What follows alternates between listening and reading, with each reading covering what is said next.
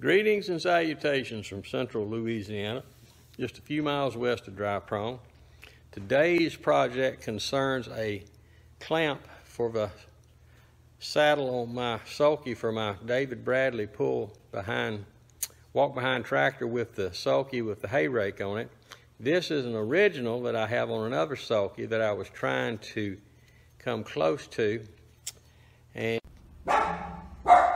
okay, I have this clamp piece that I was searching for for the David Bradley. I haven't found any in any used areas where somebody is parting something out. It's 703M. It is the clamp for David Bradley hitch. The bolt comes through here into a turn handle which tightens it down on the saddle. And I tried to find some folks that might cast this for me or, you know, get it cut out CNC and sadly the prep I need to do for it and the, the electronic files they currently want for this kind of stuff I'm incapable of doing here. So what I've done is I have a block of aluminum that I found online. You know, I said a block. That's what it is. It's a block, and I have rough sketched out the dimensions of what I'm looking for, and I'm drilling holes. This will be for the bolt that comes through from the top to clamp it down. And then on the side, I have another bolt that I need to clear out here in just a second, which is the jaw for a clamp on it to clamp it down. But then after that, it's come down to, I reckon, a lot of hard work because I'm not sure how I'm going to hog it down to close to that shape. But you know, it doesn't have to be exact. All it has to do is function. So that's where I'm going. I'll show you when I get finished. Yes, I've been step drilling coming up in sizes. I happen to have a little larger bit set. It looks like this side set is going to be closer to 5 eighths while the top hole is going to be closer to 9 sixteenths. But I'm kind of gauging it as I go against the original.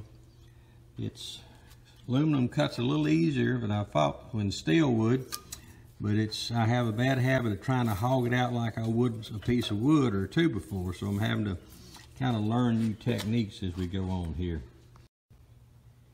Yes, I do actually use some high-tech tools at times. There's my Harbor Freight digital caliper.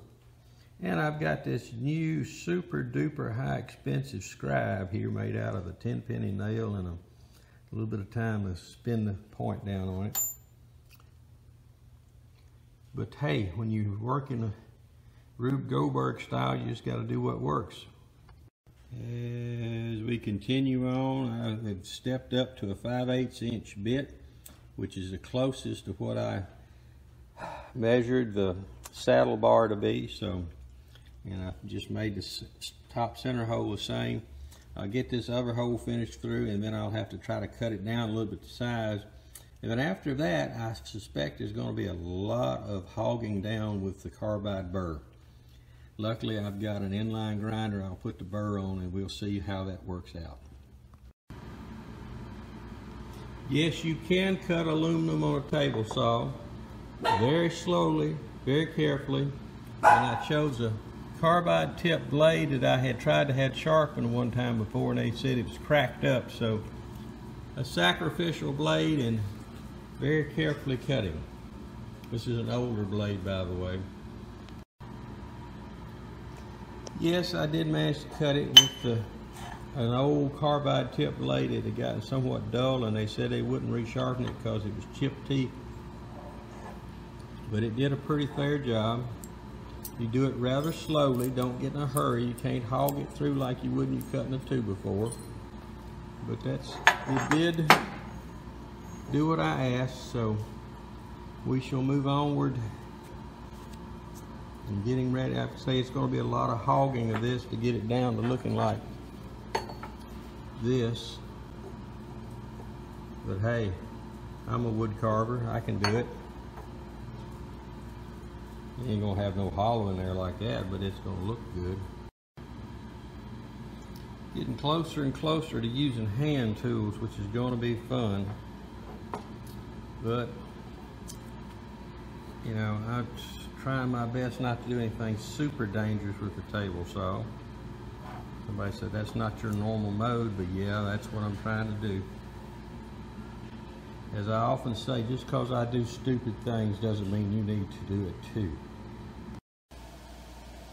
As I push forward, it's getting closer to this. There are ways to go yet. I'm not going to hollow this out, of course. This is cast iron and that's aluminum. But the aluminum will be strong enough to do what I got to do with it. It's got a lot of hogging yet to do get a lot of this other waste off. Okay, let's recap. This is the original that I was trying to duplicate. Now that's not a good word, duplicate, make a equivalent example of it to use on my David Bradley sulky with the hay rake.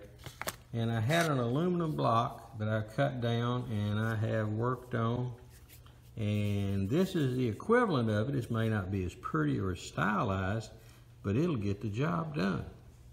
I may spend some more time polishing out some of the machining marks I've got on it, but hey, the main thing is to get something that would work. And I've already tried it. This thing works, no problem. Although, you know, if any of y'all got an extra one or two of these laying around, I'd like to have them. Save me a lot of trouble making any more of these because I'm not a metal shop man. I don't have a lot of metal working tools. So I kind of have to work at it as I can with what I got. But yes, this is an equivalent. It is not as pretty or stylized as the original, but it will work. And forgive me, there's a miscut right here on, on next to my thumb that I had made. But uh, like I say, doesn't affect the functionality or usability of it, but this will work. Which going on and spouting out a bit more, a piece of flat steel with an ear welded here and here on it a hole drill through it would do about the same thing. You know, you might have to put two, two little bars up here to keep it centered where you want it. But yeah, this is going to work. It's not very pretty, not very elegant, but it is functional. Thank you and have a good day.